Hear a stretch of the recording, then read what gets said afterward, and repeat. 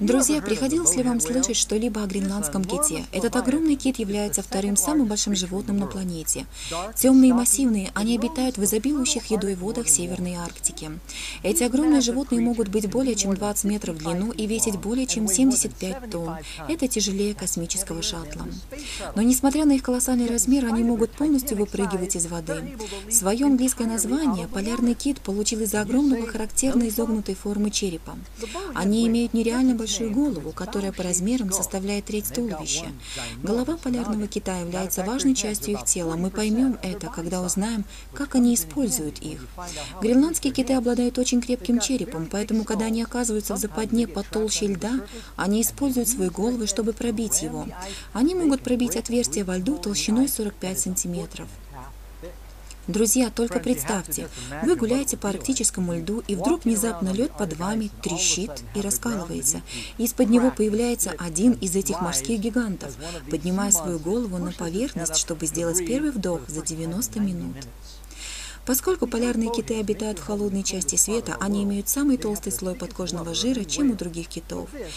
Их дружелюбность и любознательность сделала их главной мишенью европейских китобоев. Охота почти привела к вымиранию популяции.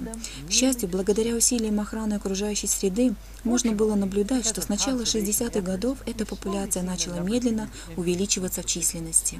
Один из удивительных фактов, касающихся гренландских китов, это их долголетие.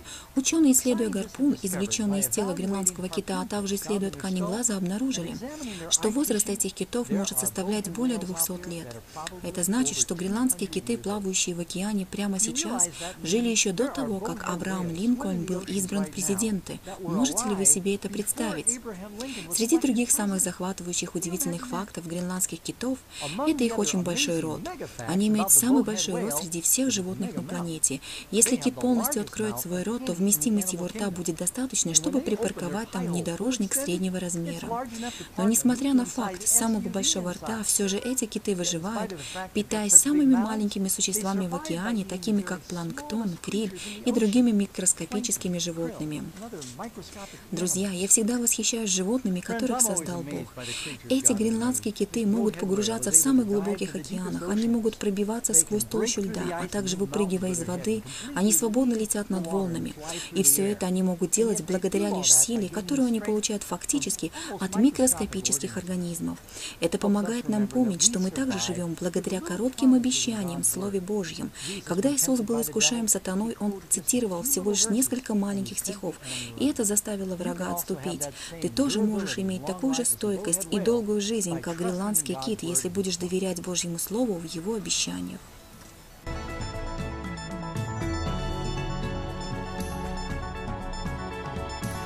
Просмотрите другие видео от удивительных фактов и не забудьте подписаться.